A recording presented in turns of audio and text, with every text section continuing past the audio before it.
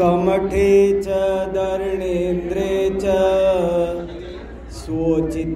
कर्म कुर्वती, प्रभुस्तुल्यमनोवृत्तिः।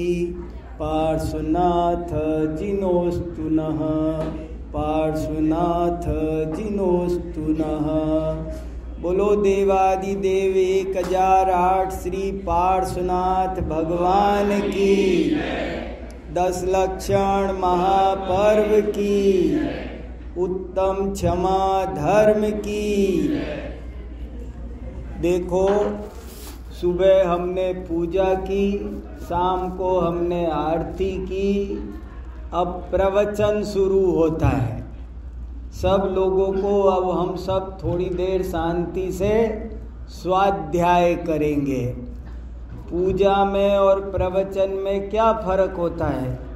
पूजा एक है पूजा, एक होता है प्रवचन। अभी प्रवचन होता है तो पूजा और प्रवचन में क्या फ़र्क होता है? जब भक्त बोले और भगवान सुने तो उसका नाम है पूजा। लेकिन जब भगवान बोले और भक्त सुने तो उसका नाम है प्रवचन। विच इज़ इंपॉर्टेंट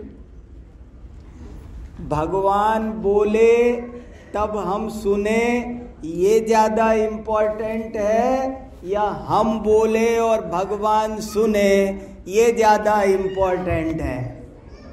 हम भगवान, नहीं, दोनों इम्पोर्टेंट है। मैं मना नहीं कर रहा। मगर थोड़ा सोचो। मैं ये बात क्यों कह रहा हूँ?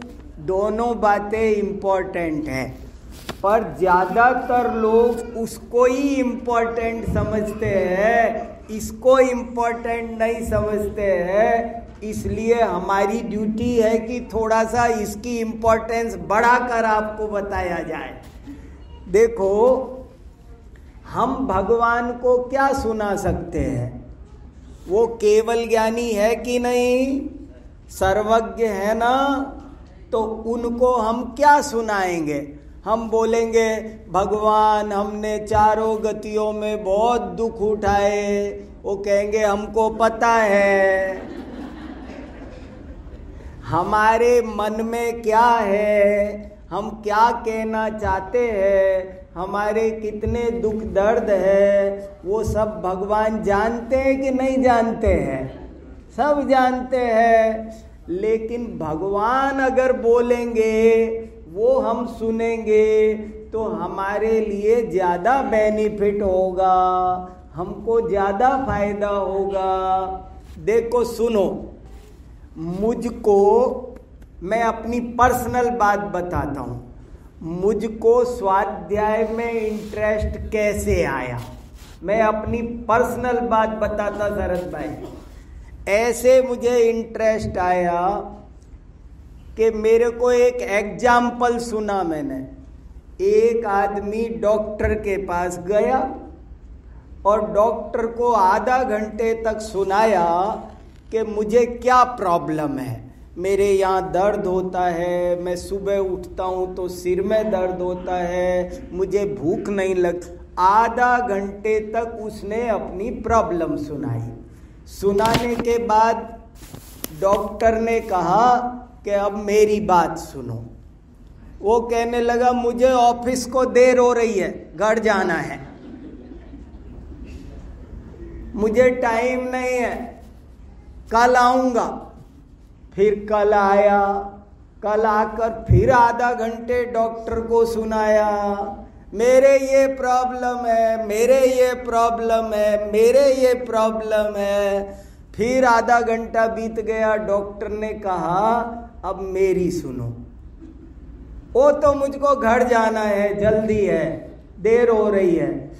तो वो ऐसे रोज चला जाता था। तो बताओ उसका इलाज कब होगा? कभी नहीं हो पाएगा। उसको आधा घंटे सुनाने की बजाय चाहे पंद्रह मिनट सुनाए, लेकिन बाद में डॉक्टर की भी तो सुनना चाहिए थी ना। वो तो सुनी नहीं। ऐसे मैं भी ऐसे बहुत करता था और हमारे बहुत साथी करते हैं कि हम ज़्यादा से ज़्यादा हम पूजा कर सकते हैं। हम आरती कर सकते हैं और प्रवचन वो सुनने की ज़रूरत नहीं है घर जाते हैं। वो हमको टाइम नहीं है। अरे दिस इज़ वेरी इंपॉर्टेंट अभी भगवान बोलते हैं अभी जि, हमने जिनवाणी माँ की आरती तो करी। अब जिनवाणी कह रही है कि मेरी सुनो वो मुझे टाइम नहीं।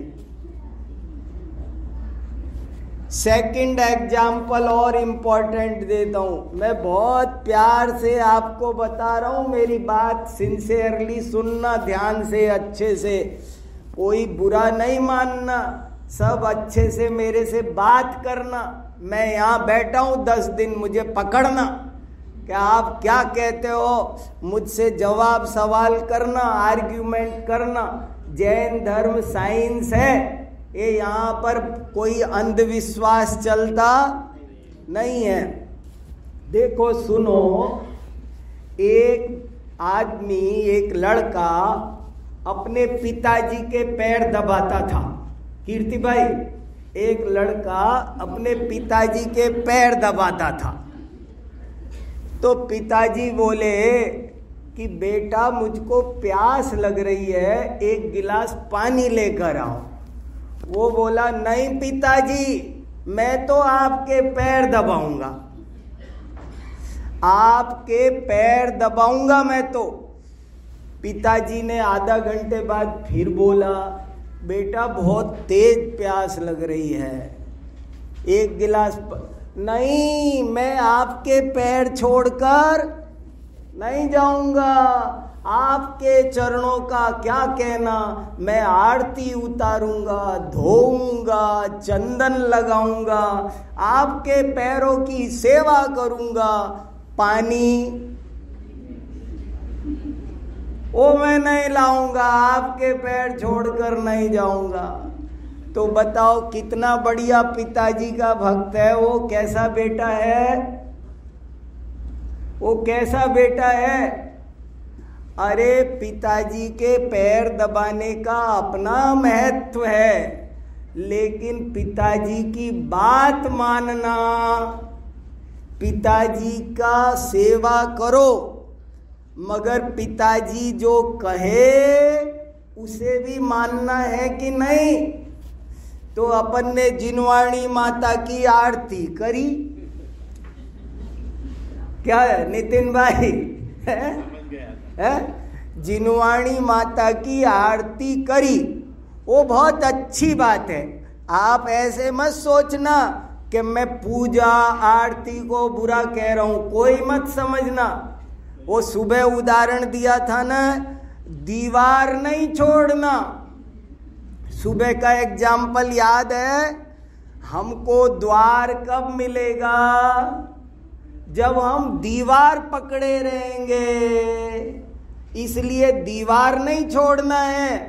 पूजा, देखो, आप अगर ये मंदिर नहीं होता, आप कल्पना करो, यहाँ मंदिर नहीं होता तो ये जो आपकी न्यू जर्सी समाज में करीब एक हज़ार श्रावक श्राविका है, वो सब धर्म से भटक जाते कि नहीं? मंदिर है तो धर्म है। मंदिर धर्म का आधार है। आपने बहुत महान काम किया है जो यहाँ पर मंदिर बनाया है। ये मंदिर नहीं होता तो आप सब खत्म हो जाते, धर्म नहीं मिलता। इस, आज जो धर्म ज़िंदा है, आप में, आपके बच्चों में जो थोड़े संस्कार है, वो सब किसकी कृपा है? इस मंदिर की। तो वो बहुत बड़, मैं पूजा, आरती, वो सबका बहुत प्रशंसक हूँ, उसको मना नहीं करता, वो सब बहुत बढ़िया चीज़ है। बट जैन धर्म दुनिया के और धर्मों जैसा नहीं है। यहाँ केवल ताली बजाने से भगवान तारने वाले, भगवान आकर के उठाने वाले नहीं है। चाहे आप तीर्थंकर के बेटे हो, आदिनाथ भगवान ने अपने पोते को पार लगाया क्या? अरे वो अपने आप जो पुरुषार्थ करता है, जैन धर्म में जो करेगा, सो फल पाएगा।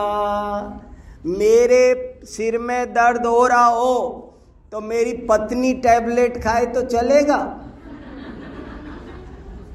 पत्नी के पेट में दर्द हो रहा हो और मैं टैबलेट खाऊं तो चलेगा। बहुत प्यार हो, बहुत। पति पत्नी में। और पत्नी के पेट में दर्द हो रहा है तो पति खा सकता है क्या टैबलेट? बताओ। पत्नी को ही खाना पड़ेगा। जिसके पेट में दर्द है, उसी को खाना पड़ेगा।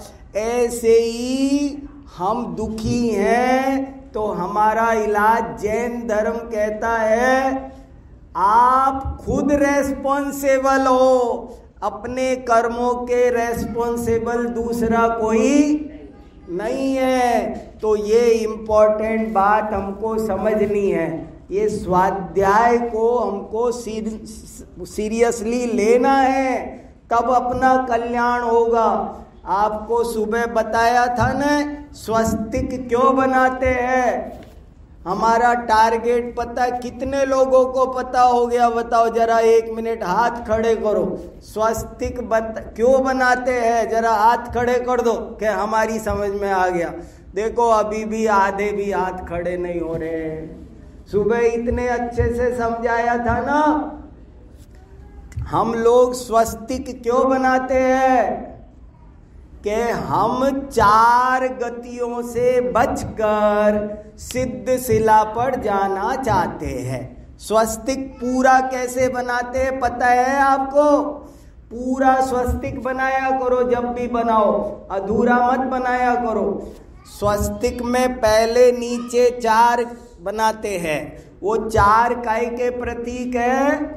चार गतियों के चार गतियों के नाम कितने लोगों को याद है? हाथ खड़े करो।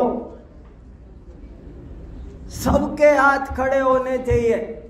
अब मैं यहीं रहने लग जाऊँ न्यू जर्सी आप लोग मुझे यहीं रख लो। अगर मैं यहाँ रह जाऊँ अभी साल, दो साल तो कैसा रहे? बोलो। मैं यहीं रहना चाहता हूँ। मुझे, मेरा मन है सबको पढ़ाना है एक एक को।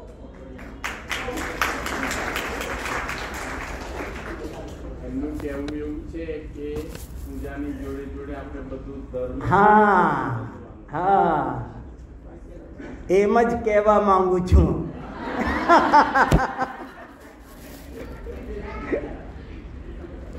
समझाए जे काय तो देखो चार गतियों के नाम याद रखो तब तो चार गति से निकलोगे हमको पता नहीं हम क्या कर रहे हैं और हमको क्या करना है नरक गति कभी थोड़ा थोड़ा पढ़ो तो थी आजकल तो गूगल पर भी थोड़ी बात पता चलती है। आप गूगल पर लिखो चार गति तो आपको वो भी जवाब देगा, ये चार गतियाँ हैं। एक नरक गति, हम बहुत बार नरकों में जाके दुख उठा के आए हैं। फिर तिरियंच गति ये पशु पक्षी तिरंच गति के कितने दुख हमने उठाए हैं? फिर मनुष्य गति, फिर देव गति, चार गतियाँ हैं। और ये स्वस्तिक क्या कहता है कि हम ये चार गति में चक्कर लगा रहे हैं। वो राउंड बनता है, ऐसे नंबर से चलता है, जो चार गति में हम घूमते रहे हैं। और बाद में स्वस्तिक के ऊपर क्या बनाते हैं? सिद्ध शिला क्यों बनाते हैं? क्या पर्पज है उसको बनाने का? कि हमको चार गति में नहीं घूमना है। हमको तो आपके पास आन ये कहाँ बैठे हैं? ये अभी कहाँ हैं? सिद्ध शिला पर। वो चंद्रमा के आकार की होती है तो हमको भी वहाँ जाना है। जैन धर्म कहता है कि हर आत्मा परमात्मा बन सकता है, हर आत्मा भगवान बन सकता है। हमको, आपको, सबको अगर परमानेंट सुख शांति चाहिए ये जो हम टेम्परेरी सुख में हम भूल गए, अभी आज मज़े में है। हमारे पास में रुपया पैसा आ गया, सब थोड़ा बहुत, सब साधन आ गए तो हम क्या समझते मज़े में कट रही है, मज़ा तो वो सब मज़े में, लेकिन ये मज़ा दो दिन का है, चार दिन की चांदनी। अभी कब आँख बंद हो जाएगी, पता नहीं है। और आँख बंद होने के बाद में अगले जन्म में हम कहा जाएँगे? कोई पता नहीं है। और फिर शुरू हो जाएगा वही चक्कर, जलो नरक में। और नरक में मिनिमम आयु क्या है? दस हज़ार वर्ष। नरक में कितने दिन रहना पड़ता है? मिनिमम पीरियड है दस हज़ार वर्ष। वहाँ कोई मर नहीं सकता इससे पहले। और इतने दिन तक बहुत भयंकर दुख पाते हैं। त्रियंच गति में एक सांस में अठारह अठारह बार जन्म मरण। ये देखो बकरे बनते हैं, मुर्गा बन जाते हैं, कितने दुख पाते हैं। हम सब बनकर आए हैं, बहुत दुख हमने पाए हैं और ध्यान नहीं दिया तो फिर से पाने वाले हैं। इसलिए सावधान, ये मौका है। अब हम एग्जिट पॉइंट पर आ गए हैं।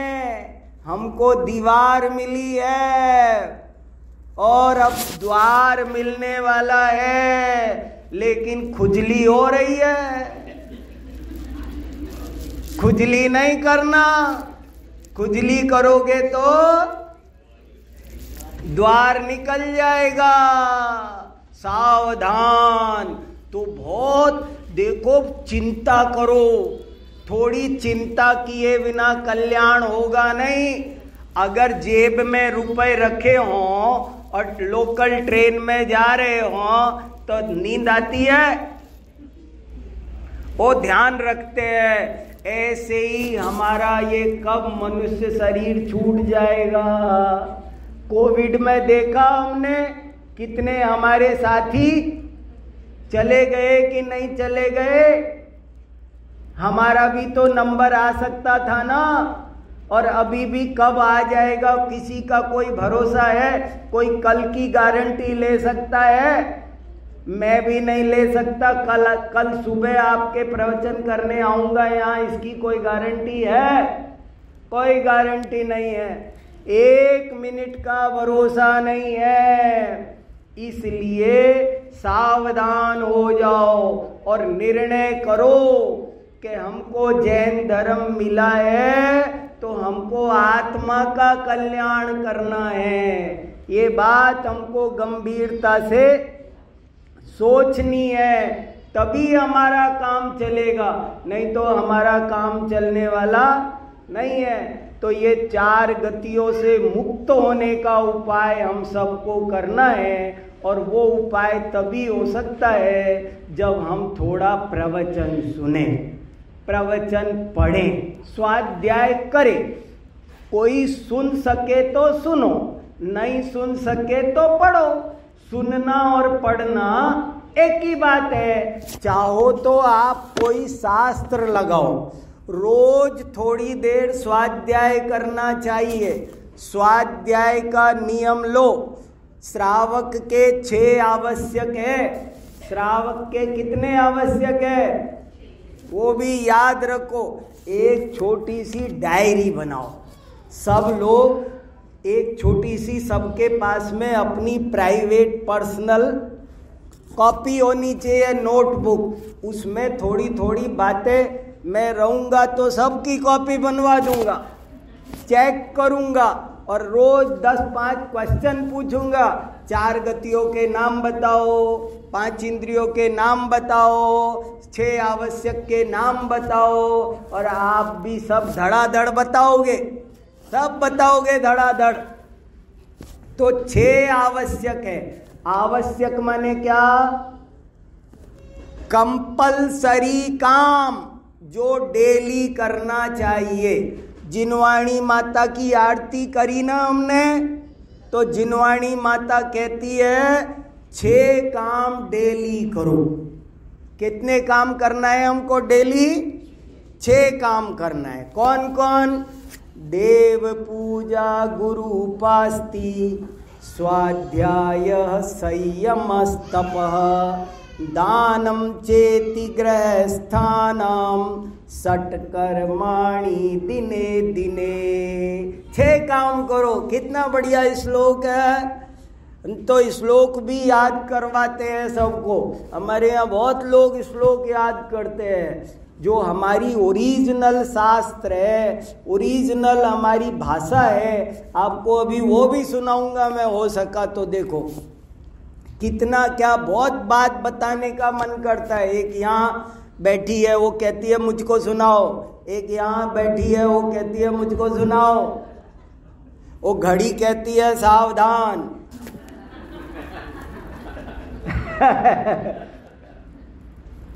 तो सब चीज़ें तो छह आवश्यक याद करो। देव पूजा। हमको डेली एक भी दिन गैप नहीं होना चाहिए। चाहे घर में बेटी की शादी हो, उस दिन भी करना चाहिए। कितने काम? छह काम। पहला काम है भगवान की पूजा। वीतराग भगवान को प्रतिदिन थोड़ी देर याद करो। उनकी जितनी यथाशक्ति, आपकी जितनी शक्ति हो, ज़रूरी नहीं कि आप चार घंटे पूजा करो। आपकी जितनी बस की हो, अपने शास्त्र में सब जगह लिखा है, जैन धर्म में ज़बरदस्ती नहीं है। जैन धर्म तो ज़बरदस्त है।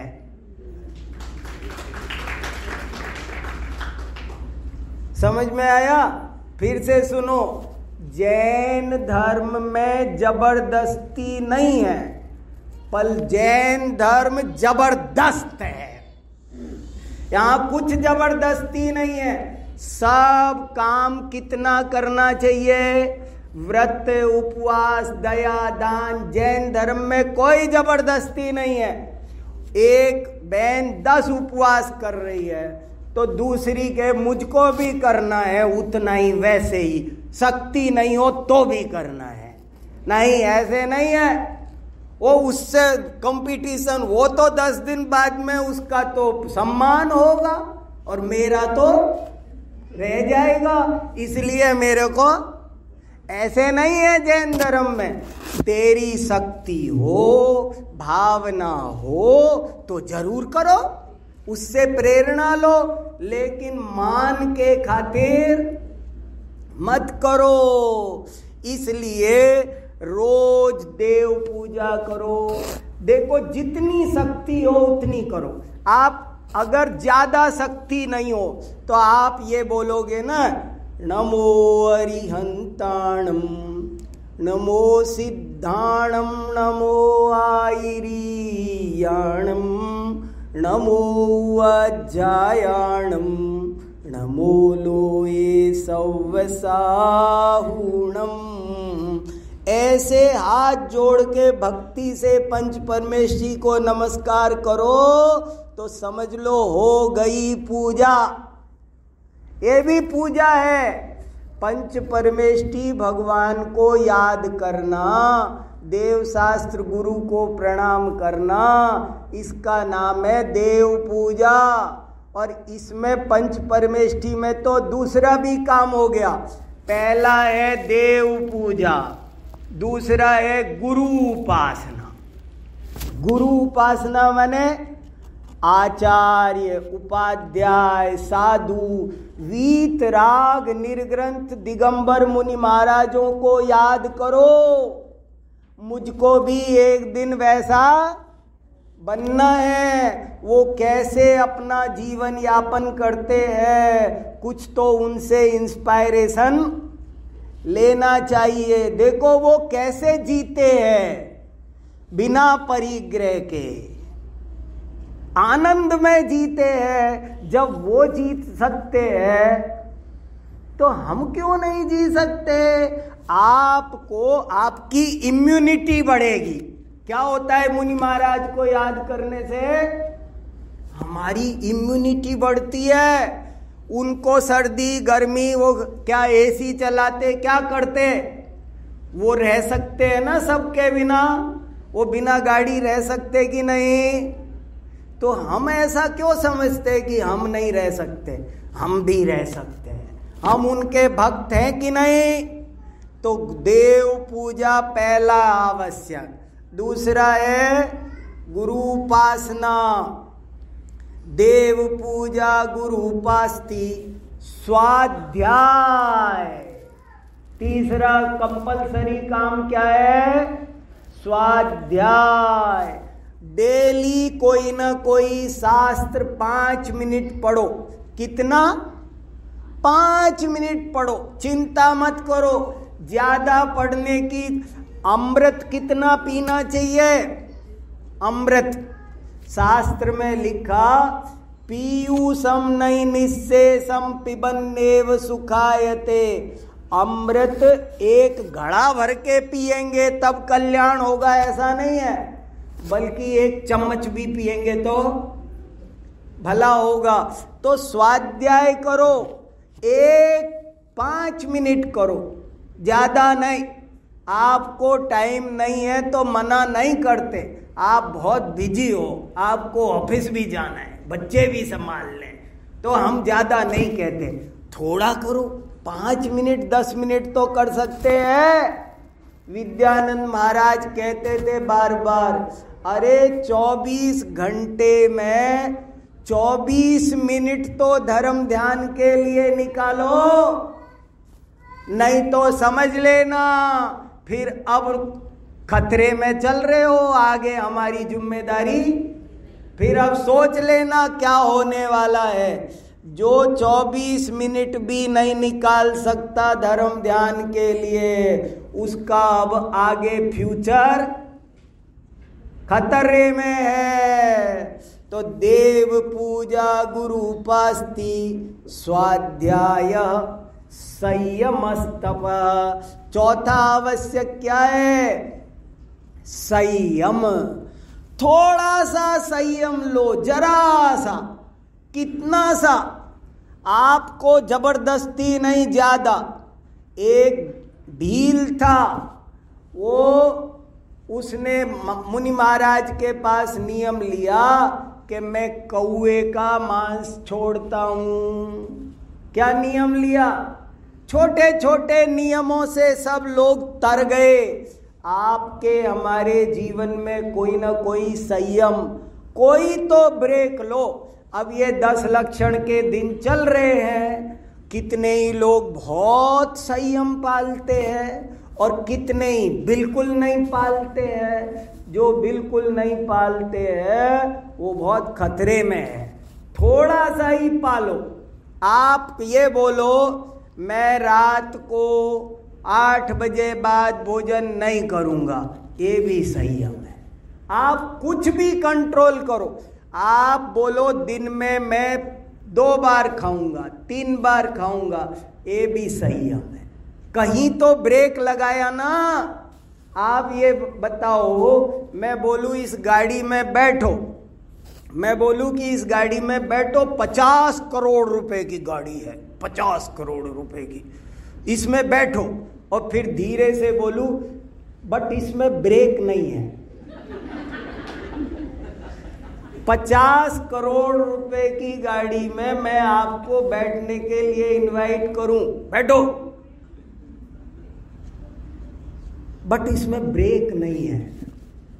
तो जिस जीवन में संयम नहीं है, समझ लेना वो बिना ब्रेक की गाड़ी है।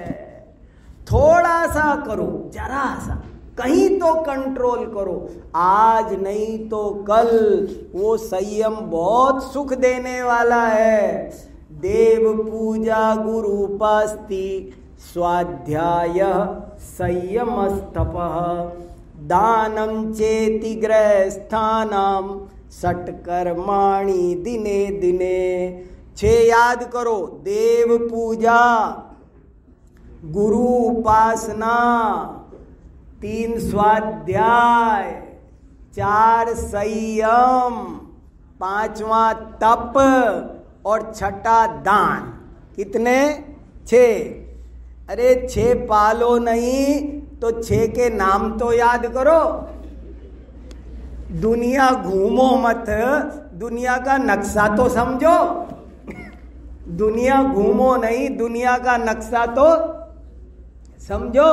तो छह आवश्यक है, देव पूजा, गुरु पास्ती स्वाध्याय, संयम तप थोड़ा सा तप करो, मगर ज़रूर से ज़रूर करो। दान थोड़ा सा दान करो, मगर ज़रूर से ज़रूर रोज दान करना चाहिए। दान क्या होता है, उस पर भी मैं अभी एक दिन अलग से बोलने वाला हूँ, क्योंकि दान का सही स्वरूप पता होना चाहिए। चार तरह का दान है, औसत दान। आहार दान, ज्ञान दान और अभय दान। अब देखो कितनी चीज़ें पढ़ा रहा हूँ मैं आपको। चार गतियाँ पढ़ा दी, पाँच इंद्रियाँ पढ़ा दी, आपको ये छह आवश्यक पढ़ा दिए और चार दान पढ़ा दिए। ये सब पढ़ो, लिखो, याद करो, इनका स्वरूप समझो। ये सब ज़रूर से ज़रूर अपने जीवन में जितना हो सके उतना देखो ये याद रखना, ज़बरदस्ती नहीं करना। जैन धर्म में कुछ भी अगर मेरी शक्ति नहीं है और मैं एक लाख रुपया दान दूँ तो क्या होगा? परिणाम खराब होंगे। खराब परिणामों से धर्म नहीं होता है, अच्छे परिणामों से धर्म होता है। तो इसलिए ये सब बात हमको ध्यान में रखनी है। रोज स्वाध्याय करना है और कम से कम अब दस लक्षण में तो रोज स्वाध्याय होगा ना ये यहाँ पर। तो आप सब मन लगा के सुनो और जो भी आपके मन में प्रश्न पैदा हो, वो सब प्रश्न आप लिखो, हमसे पूछो, हमें लिख के दो। देखो, हम बड़ी मुश्किल से निकल कर आए हैं। हमको भी टाइम नहीं मिलता, मगर हम आपके वात्सल्य से कि अरे हमारे साधर्मी इतनी दूर जा कर के बैठे हैं, उनको संभालना चाहिए। विद्यानंद महाराज ने भेजा मुझे। वो पहले वो भेजा था तो उन्होंने बोले, जाओ वहाँ, उनको संभालो। वो सब हमारे बहन, आप सब हमारे बहन भाई हो कि नहीं? तो हम तो आपसे मिलने आए हैं कि भाई आपके क्या हाल चाल है? क्या चल रहा है? क्या तैयारी है? तो इसलिए वो सब बताने आए हैं। उन सबको अपने जीवन में उतारना। समय हमारा हो गया। इसलिए अभी ज़्यादा और चर्चा करते नहीं है, पर अभी बहुत सारी और अच्छी अच्छी बातें हैं। रोज दोनों टाइम आपको सुनाएँगे।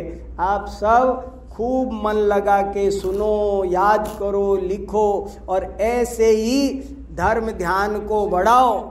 धर्म बढ़े तो धन बढ़े धन बढ़े मन बढ़ जाए। मन बढ़ते सब बढ़त बढ़त बढ़त बढ़ जाए। धर्म का पल्ला मत छोड़ो दुनिया में बहुत टांग खिंचाई है। पाँच इंद्री के विषय भोग आपसे बोलेंगे, क्या करते हो? मंदिर क्यों जाना? बहुत लोग आपको दुनिया में विषय भोगों में खींचने वाले बहुत मिलेंगे, मगर धर्म में लगाने वाले बहुत कम लोग मिलेंगे। इसलिए सावधान रहना। धर्म घटे तो धन घटे, धन घट मन घट जाए। मन घटते सब घटत घटत घटत घट जाए। आप यहाँ कैसे आ गए मुझे बताओ? बहुत सारी गरीबी में दुनिया जी रही है ना आपके हमारे साथी कैसे कैसे कष्टों में जी रहे हैं ना? आप यहाँ पर आ गए समृद्धि में तो कैसे आ गए? आपके पुण्य के उदय से। कैसे आए? पल्ले में पुण्य नहीं होता। तो यहाँ आ सकते थे? इतने आनंद में रह सकते थे? सब धर्म का फल है। और अगर धर्म को ही छोड़ दो तो? सब खाली हो जाएगा। इसलिए धर्म की दीवार पकड़ के रखना। तब आपको रत्न त्रय का द्वार भी ज़रूर से ज़रूर मिल जाएगा। तो आप सबका खूब धर्म ध्यान बढ़े। यही मेरी मंगल कामना है। और कुछ भाई बात नितिन भाई को कहना होगा तो कहेंगे। नहीं आपको क्वेश्चन आंसर हाँ। ओम रीम हाँ। और जो बीजाक्षर है हाँ। उनका मीनिंग क्या है वो सबको समझना देखो सुनो। एक प्रश्न तो पहले चल रहा था हमारा उसका भी आंसर पूरा नहीं हुआ अभी और दूसरा क्वेश्चन और नितिन भाई ने पूछा। ओम का क्या मतलब होता है? वो पूछ रहे ओम माने क्या? ओम शब्द का मतलब होता है पंच परमेष्ठी। जब आप बोलो ओम नमः ओम नमः, ये महामंत्र है, इसका जाप करना चाहिए। क्या? ओम नमः ओम नमः ओम नमः। अनंत शक्तिशाली मंत्र है शॉर्ट इससे नाना प्रकार के फ़ायदे होते हैं। ओम नमः। ओम नमः ओम नमः। ओम माने पंच परमेष्ठी, ए माने अरिहंत, ए माने अशरीरी सिद्ध भगवान, आ माने आचार्य, ऊ माने उपाध्याय, और मैं माने मुनि महाराज। पंच परमेष्ठी का वाचक है ओम। और रीम क्या होता है? रे माने ऋषभ देव, मैं माने महावीर, रीम माने चौबीस तीर्थंकर भगवान। ओम रीम। अब आज मंत्र पढ़ा, जाप जाप सिखाया था ना सुबह नितिन भाई ने। ओम रीम, उत्तम क्षमा धर्मांगाय नमः। ओम रीं श्रीं उत्तम क्षमा धर्मांगाय नमः। तो ओम माने पंच परमेष्ठी, रीम माने चौबीस तीर्थंकर।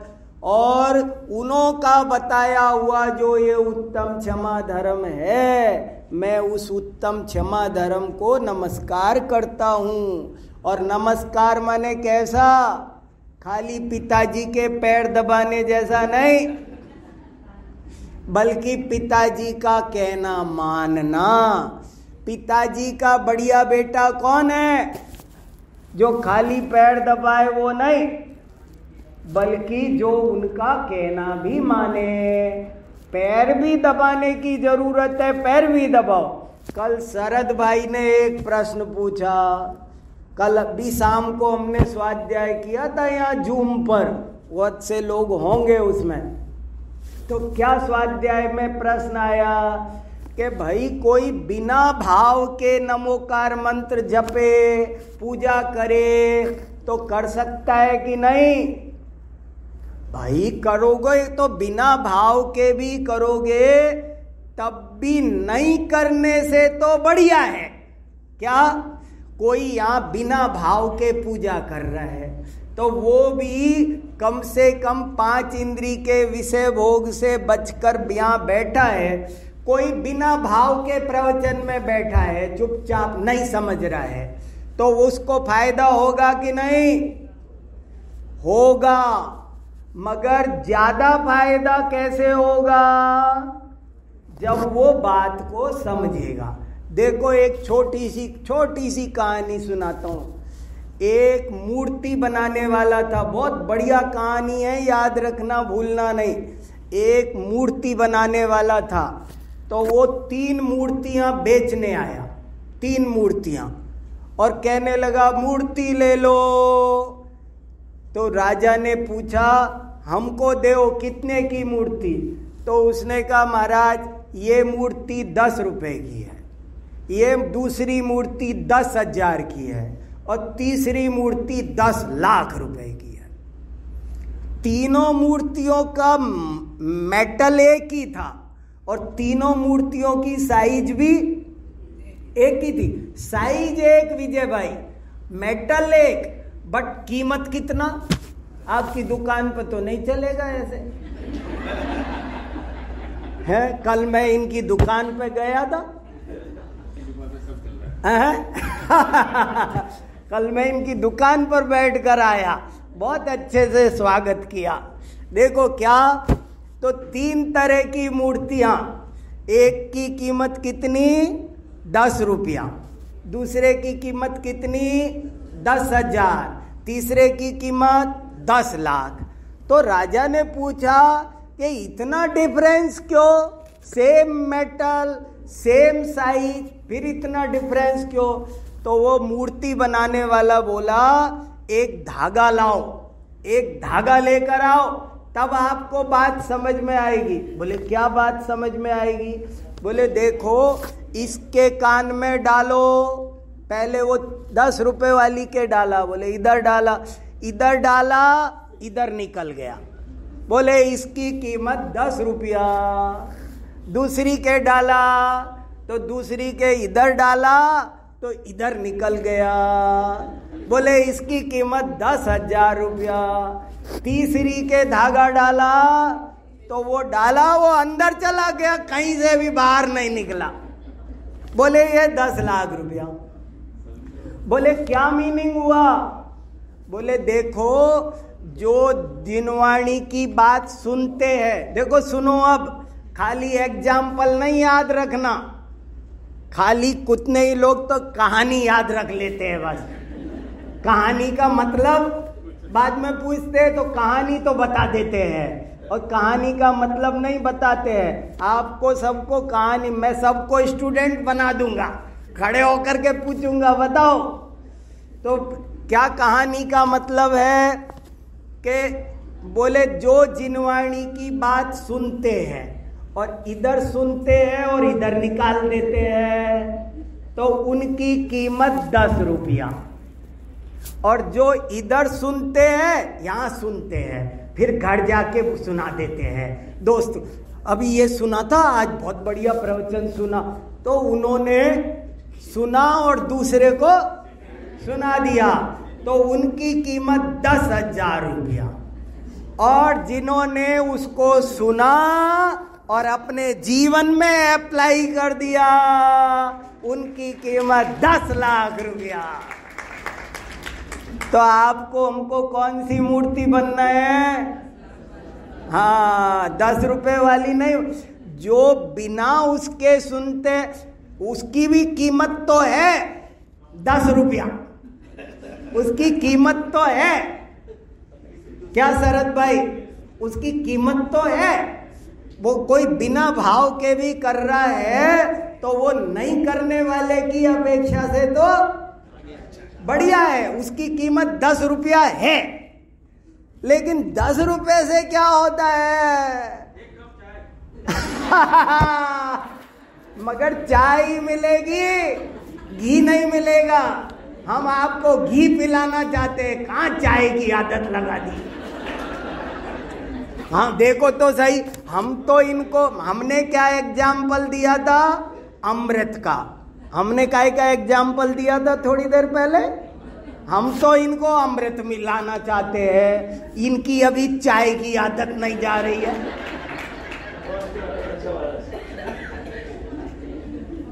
तो इसलिए हम सबको दस लाख रुपए वाले बनना देखो, हर उपदेश, हर बात बेटरमेंट के लिए की जाती है। कोई किसी की बुराई नहीं है। हम किसी को बुरा नहीं कह, जैन धर्म में सबको जगह है। कोई कैसे भी करे, जितना करे, सब चलेगा। मगर जब कोई बात कही जाती है तो वो बेटरमेंट के लिए एक बच्चा पचास परसेंट मार्क्स लेकर आया। तो पिताजी उसको कह रहे हैं तू कमज़ोर है, गलत किया तो गलत किया मतलब क्या? कल से पचास भी नहीं लाना। अरे वो इसलिए बोला जा रहा है, साठ लाओ, सत्तर लाओ, इसलिए बोला जा। तो हमारी ड्यूटी यहाँ किस लिए बिठाया आपने हमको? बेटरमेंट के लिए। इसलिए हम आपको चाय पर नहीं छोड़ेंगे। हम आपको दिल्ली यहाँ बारह तेरह हज़ार किलोमीटर उड़कर आया हूँ। अभी अभी वहाँ दिन है, यहाँ रात है, मुझे नींद आ रही है। मगर फिर भी आपके लिए प्यार से जग रहा सब काम कर रहा, आनंद ले रहा, काय के लिए? आपको चाय के भरोसे नहीं छोड़ना है। आपको मैं यहाँ अमृत पिला के जाऊँगा। आपको पीना है। ठीक है? चलो, आज बहुत समय हो गया। अब आज की बात यहीं पर पूरी करते हैं। बहुत अच्छा। सबको जय जिनेन्द्र।